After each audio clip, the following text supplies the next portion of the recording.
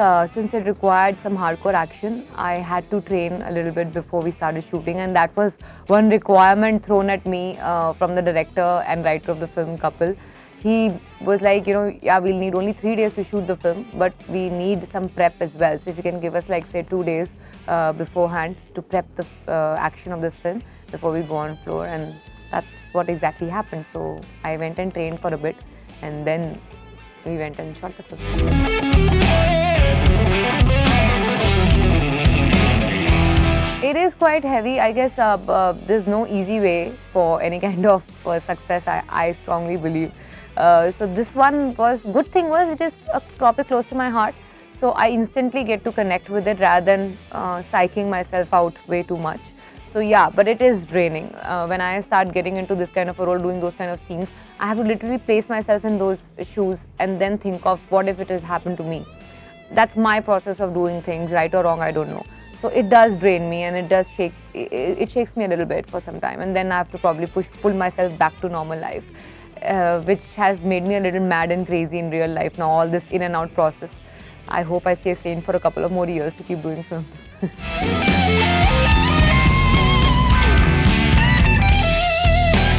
Depends how long I've gotten myself into it. Like, for say, for example, to, after doing a film like Pink, it took me at least two weeks to get out of it and feel like normal. I had to go on a slight, like, detached holiday also where I was not accessible for a week. Uh, so yeah, it took a little while for that. But for this one, since it, since it was just for three days, so I think I just went back one day spent around uh, with my friends who have nothing to do with film world and got me back to normal life.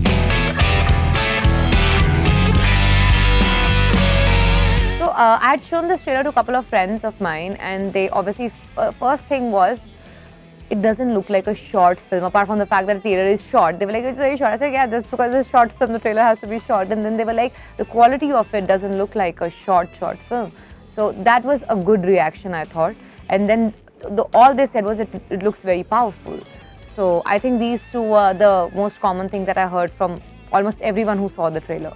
So I, am looking forward to the reactions now after they see the film uh, because I think this was purely instinctive. I didn't ask anyone. It was not a career move. It was not something that will get me popularity or money or fame of any sort. It was just purely an instinctive move that I wanted to do. Just associate myself with a film that I really like the idea of or the, or the, or the concept. It was just an instinctive move I said. So let me see if my audience uh, believes in my instinct.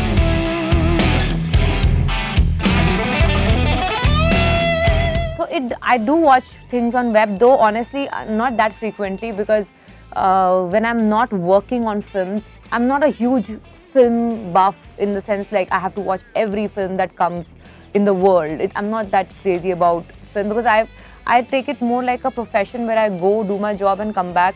I watch films, but not as much as a lot of others around me I know of. Not even my own sister; she watches more films than I do. So I, but I watch them when I'm. Uh, somewhere out outdoors where you know you after you come back to your room you just want to get entertained for a bit. So then i do watch some things online whatever i've been recommended or whatever pops up instantly so yeah.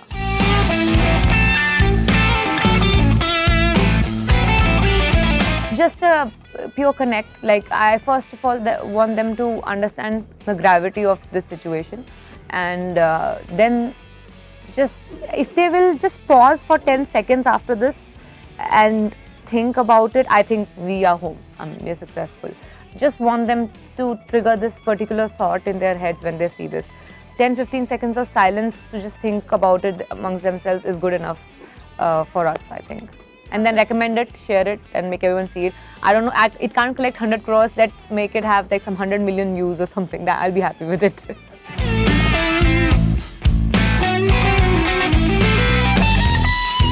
as I said, I'm pretty instinctive person. Whatever I feel like that instant, I'll do it. See, web series and all these things, I do keep getting them, but uh, I have, I'm primarily, I see why do I need to do it. First of all, is it giving me a certain role or a, or a character which I don't get in my uh, normal feature film lineup, which is pretty crazy in itself. I think I've, I've tried to touch all possible genres or kind of roles at least till now and the ones that I'm doing as well.